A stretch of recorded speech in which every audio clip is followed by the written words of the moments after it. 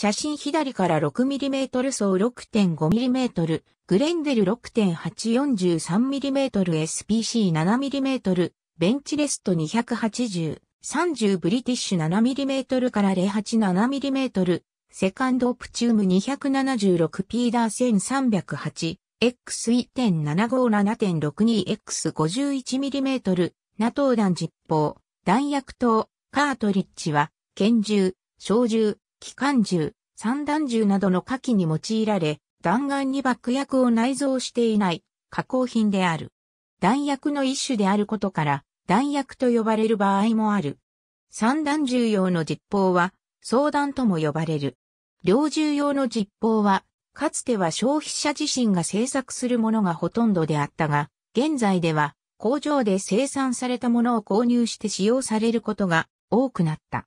このような規制の実法は、ファクトリーロードとも呼ばれる。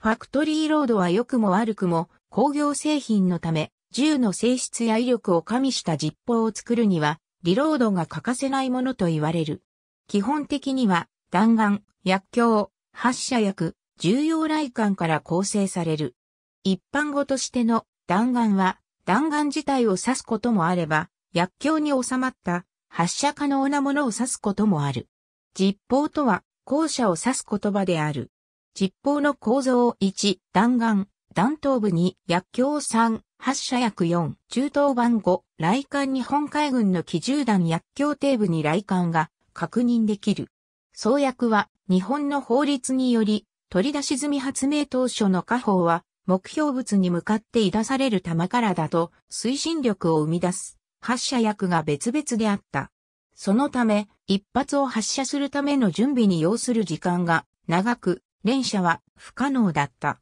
その後、それらを薬莢にパッケージングすることで、取り扱いは容易となり、雨、湿気など、周囲の影響を低減でき、連射機構が可能となった。また、その薬莢を金属とし、熱をある程度吸収させて捨てることで、連射時に薬質の加熱を抑え、ガンパウダーや重要来管の自然発火イコールコックオフが減少でき、薬質高炭の燃焼ガス漏れなどを防ぎ、射撃精度を上げることとなった。日本史の中では、織田信長の軍隊などが弾丸と発射薬を包んでパッケージ化した早合と呼ばれるものを使用していた。火縄銃の発射にかかるサイクルの中で発射薬を詰める時間をかなり短縮できるため、軍事的には大変有利になる。同口径の一般的な弾薬よりも発射薬を増やしたもの。競争弾とは違い、より多くの火薬が入るよう、また安全性のために薬莢の形状を変えている。薬莢を排したもの。講義のケースレス弾にあたるいくつかの紙製薬莢では、素材に燃焼しやすいよう処理した紙を用いて、発射時に薬莢が燃え尽きるようになっていた。現代のケースレス弾は成形された発射薬に弾頭と雷管が装着されている。軽量化や金属資源の節約、重機の肺、鞘機構の削除が望めるが、薬莢の持っていた機能が失われ問題が多い上に、コストが高く、実用化に至った例はない。薬莢の中に弾丸を内没させたもの。弾頭が内蔵されるため耐久性が向上し、単純な円筒型になるため携帯性にも優れる。各国で研究が進められているが、技術的問題やコストにより、大規模な採用には至っていない。装薬量を増やすなどして、一般的な弾薬よりも発射圧力を高めたもの。威力や射程距離の向上が望めるが、反動の増加や命中精度の低下、発射炎による視界の悪化などが懸念される。マグナム弾とは違い、薬莢の形状はそのままである。競争弾のうち、アメリカの火器業界による研究所、サウミが定める規格、P の範囲で圧力を高めたもの。P 規格を超えて圧力を高めた P プラス弾も存在する。一般的に使用しても重機を破損する恐れは小さいが、対応を歌っていない重機で使用すると寿命を縮めたり最悪破壊する恐れがある。競争弾を指すスラング。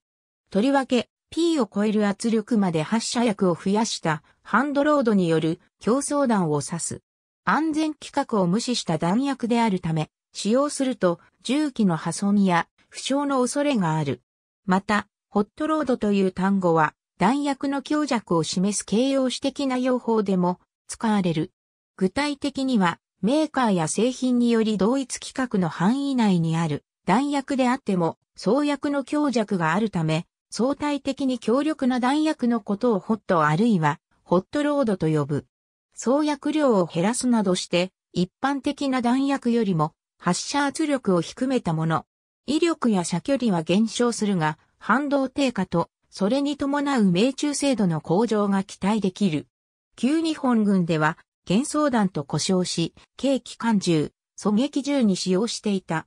自衛隊では62式 7.62mm 機関銃、64式 7.62mm 小銃、74式射載 7.62mm 機関銃が弱装弾を使用する。はじめから弱装弾を想定した設計がされている銃に使うならば問題はないが、そうでない銃で弱装弾を用いる場合、弾道が標準装置の設定に合わなくなり、自動火器においては圧力不足による作動不良にも注意が必要となる。弾速が音速を下回る、用弾頭重量や発射薬の量を調整したもの。弾丸の飛翔に伴って発生する衝撃波がなく、それによって発生する大きな音を抑えられるため、発射時に銃が発する音を軽減するサプレッサーとは相性が良く、亜音速弾とサプレッサーを併用することで、消音効果がより高まる。しかし通常弾より弾道が不安定になりやすく、遠距離の狙撃など、